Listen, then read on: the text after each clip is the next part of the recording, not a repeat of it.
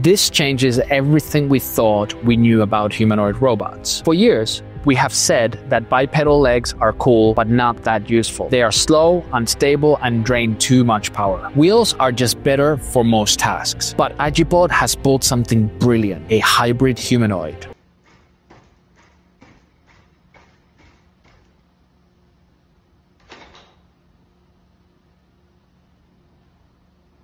So Agibot dropped this bot that straight up morphs from a walking humanoid to a rolling machine. One that walks when it needs to and rolls when it can.